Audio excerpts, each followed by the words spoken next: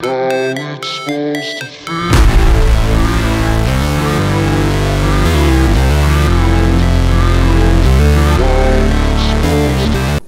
Friends இன்றைக்கி வந்து நல்ல சூப்பரான ஒரு பூண்டு மிளகு குழம்பு பார்க்கலாம்.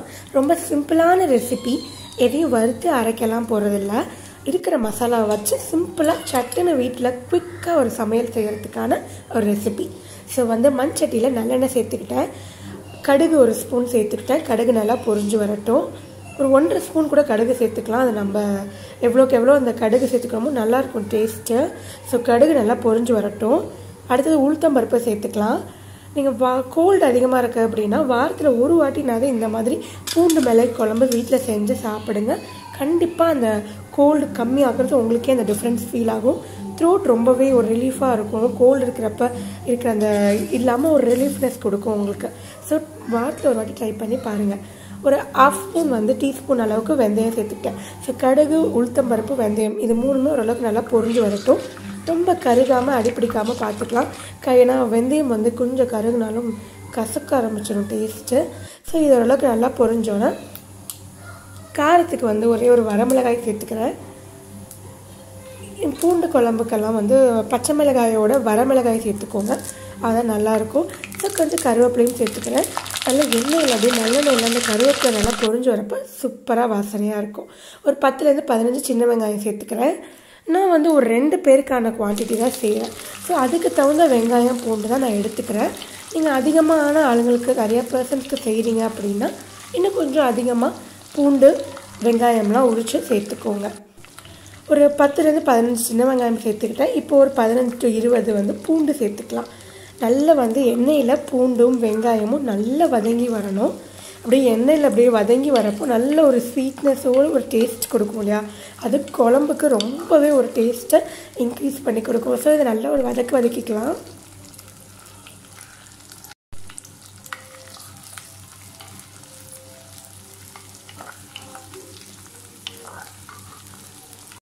ஓரளவுக்கு வெங்காயம் பூண்டெல்லாம் வதங்கிச்சு இந்த ஸ்டேஜில் வந்து ஒரு பெரிய தக்காளியை வந்து சின்ன சின்னதாக நறுக்கி வச்சுருக்கேன். அதையும் சேர்த்து நல்லா இப்போ நம்ம எண்ணெயில் வதக்கி எடுத்துக்கலாம். ஸோ இப்போ வந்து நல்ல இந்த தக்காளி வந்து எண்ணெயில் நல்லா குலவாக மசிஞ்சு வரணும். அப்போ தான் அந்த டேஸ்ட் நல்லா இருக்கும் உங்களுக்கு. ஸோ அதையும் நல்லா கொலைய மசிச்சு அதுக்கப்புறமே நம்ம அடுத்தடுத்து ஆட் பண்ணிக்கலாம். ஸோ இதை நல்லா கொஞ்ச நேரம் மசிய விட்டுறலாம் அந்த தக்காளியெல்லாம்.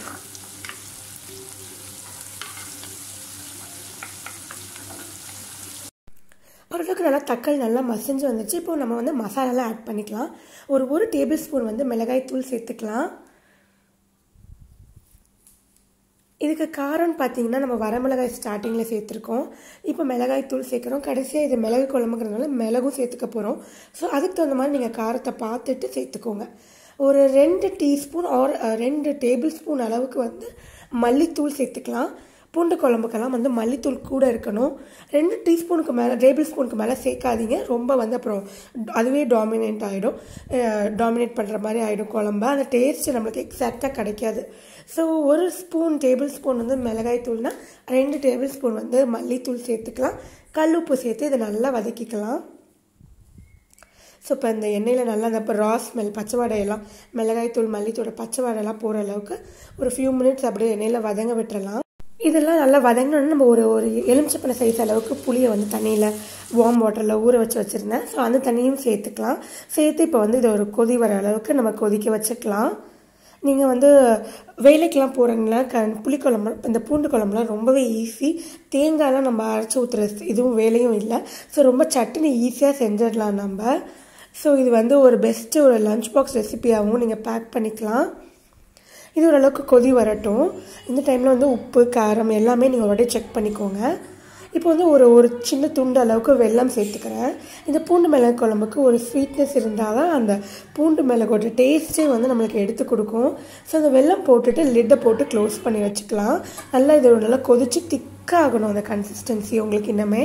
அது எவ்வளோக்கு எவ்வளோ திக்காகுதோ அவ்வளோக்கு எவ்வளோ அந்த குழம்பு டேஸ்ட்டாக இருக்கும். இந்த குழம்பு திக்கான ஊற்றி சாப்பிட்ற கன்சிஸ்டன்சியில் தான் செஞ்சு சாப்பிட்ணும். இதுக்கு சைட் டிஷ் வந்து கீரை பொரியல் தான். முளைக்கீரை தான் செய்ய போகிறேன் ஸோ அதையும் பார்த்துடலாம் சிம்பிளாக இது ரொம்ப சிம்பிளான ரெசிபி ஒரு லஞ்ச் காம்போங்கிறதுனால உங்களுக்கு நான் அதையும் காட்டிடுறேன். நான் ரொம்ப வந்து கிச்சனில் நம்ம வந்து டைம் ஸ்பெண்ட் பண்ணக்கூடாது. பட் அதே சமயத்தில் டேஸ்ட்டு நல்லா இருக்கிற மாதிரி இருக்கணும். ஹெல்த்தியாகவும் சமைக்கிற மாதிரி பார்த்துக்கணும் ஸோ வந்து சட்டுன்னு சமைச்சிடலாம். கீரையெல்லாம் ஆயிரத்துக்கும் அரியறதுக்கும் தான் கொஞ்சம் டைம் ஆகும். மித்தபடி சட்டுன்னு செஞ்சிடலாம். ஸோ கடலெண்ணெய் சேர்த்துக்கிற கடுகு உளுத்தம்பருப்பு மஞ்சத்தூள் போட்டு இது ஓரளவுக்கு பொரிய விட்டுறலாம் கீரைக்கு வந்து நம்ம வரமிளகாயும் சேர்த்துக்கலாம் பச்சை மிளகாயும் சேர்த்துக்கலாம். வரமிளகாய் சேர்த்தா அது ஒரு தனி சுவையாக நல்லாயிருக்கும். ஸோ ரெண்டுலேருந்து மூணு வரமிளகாய் சேர்த்துக்கலாம். உங்கள் காரத்துக்கு தகுந்த மாதிரி தான் நம்ம சேர்த்துக்கலாம். ஸோ அதையும் சேர்த்து ஓரளவுக்கு நல்லா வதக்கிட்டு சும்மா ஒரு சின்ன சைஸ் வெங்காயம் இருந்தால் போதும். அதையும் நல்லா வ வதக்கிக்கலாம். நான் வந்து இந்த மாதிரி மெத்தடில் தான் செய்வேன். ரொம்ப சிம்பிளான குக்கிங்காக தான் இருக்கும். பட் நம்ம வந்து டேஸ்ட் நல்லா கொடுக்கணும். அவ்வளோதான் ரிசல்ட் நல்லா இருக்கணும். ஸோ கொஞ்சமாக வெங்காயம் போட்டு நல்லா வதக்கிக்கலாம். இப்போ வந்து நல்லா அலசிட்டு ஆஞ்சி வச்ச கீரையை இதில் சேர்த்துக்கலாம். வாரம் ஒரு முறை ஏதாவது ஒரு கீரை சேர்த்துக்கோங்க.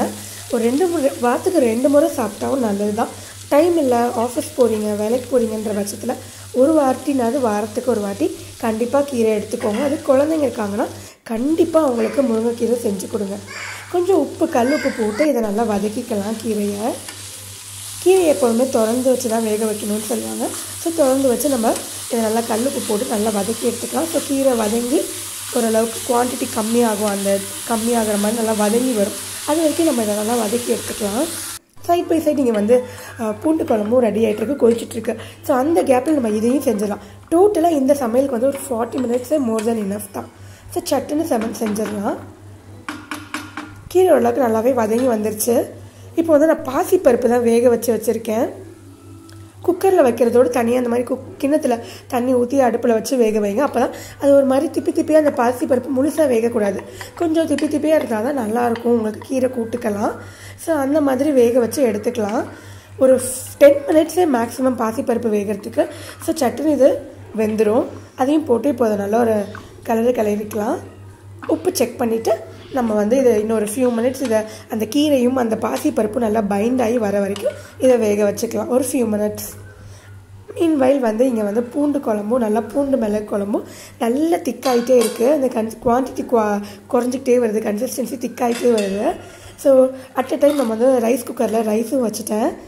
ஸோ இது வந்து குழம்பு ரெடி ஆகிடுச்சு காயும் ரெடி ஆகிடுச்சு ஸோ ஃபார்ட்டி மினிட்ஸில் சிம்பிளாக சட்டுன்னு நல்லா ஹெல்த்தியான ஒரு குக்கிங் ரெடி ஆகிடுச்சு சமையல்.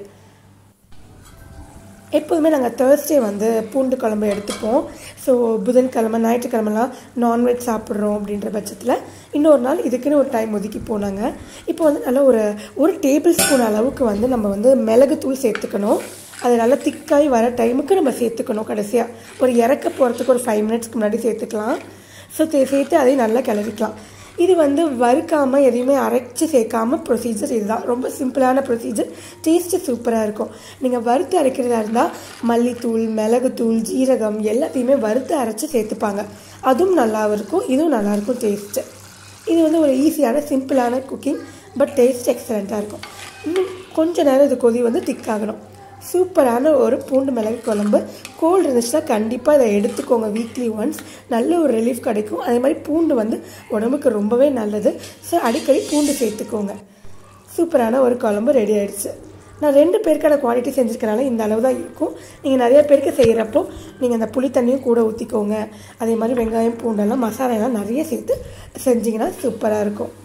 கடைசியாக அந்த கீரையில் வந்து கொஞ்சோண்டு தேங்காய் பூ திருவி போட்டு அதையும் ஒரு வதக்கு வதக்கி அடுப்பு ஆஃப் பண்ணோம்னா சூப்பரான ஒரு லஞ்ச் காம்போ ரெடி நம்ம சேனல் நீங்கள் செக் பண்ணி பாருங்கள் உங்களுக்கு பிடிச்சிருந்தா சப்ஸ்கிரைப் பண்ணி நோட்டிஃபிகேஷன் பெல்லையும் ப்ரெஸ் பண்ணிக்கோங்க.